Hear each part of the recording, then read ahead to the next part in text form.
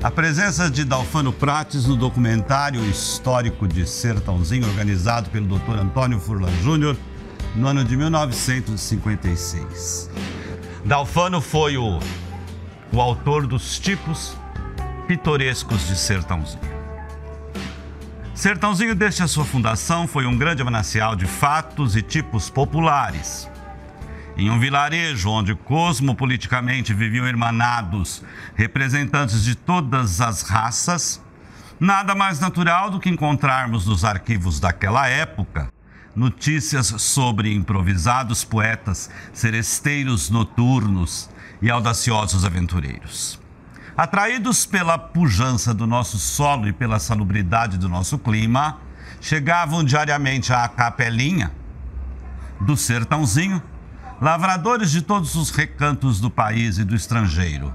Italianos, portugueses, sírios, irmanavam-se com os caboclos, quase todos vindo de Minas Gerais.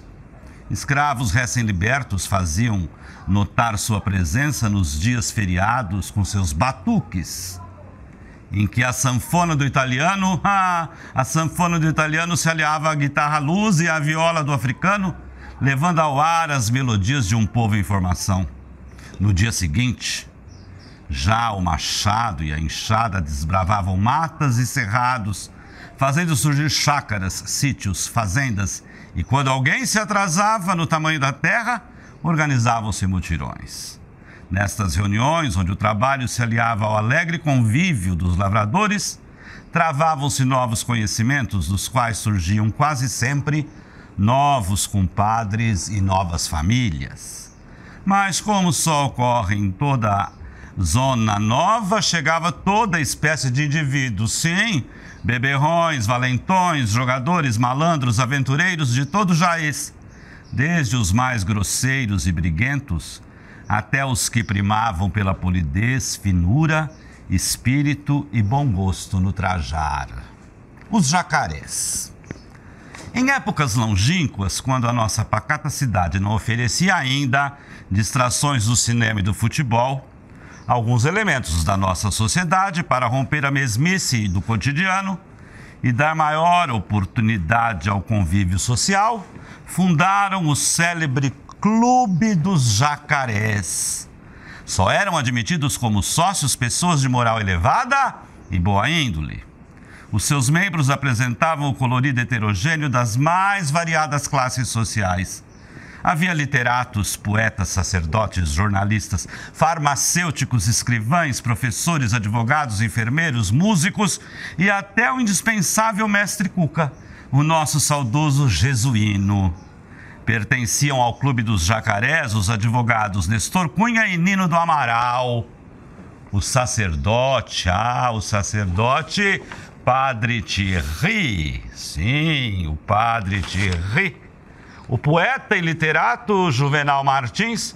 Os jornalista Prado, Luiz Barbosa, José Meirelles. O farmacêutico José Custódio de Paula Martins. Os músicos Henrique Maresca os Tapareles e o maestro João Batista Caldeira André Maraúce e Aristide, um exímio clarinetista.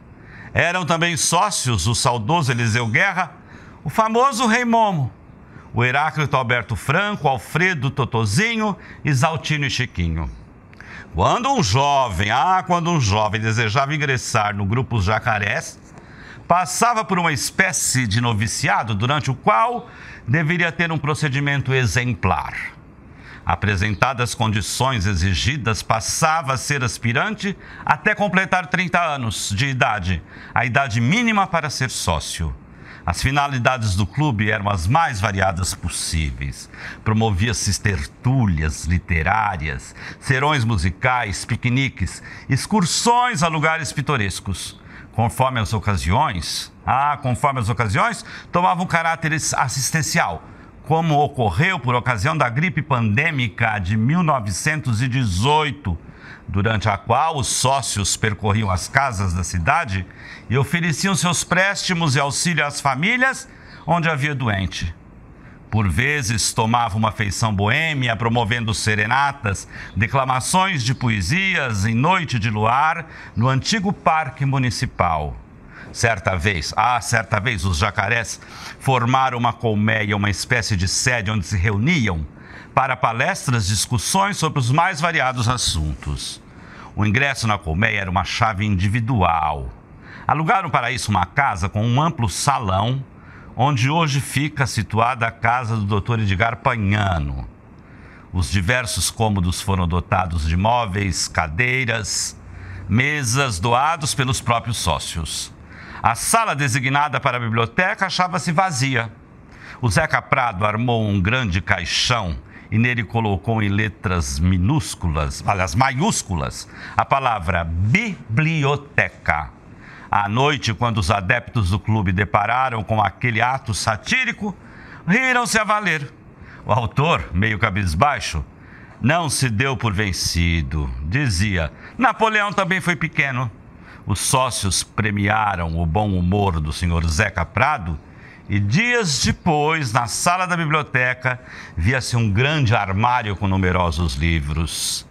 Muitas vezes, e muitas páginas seriam necessárias para se relatar os episódios pitorescos do Clube dos Jacarés, que muito brilhou na antiga Sertãozinho. Dalfano Prates.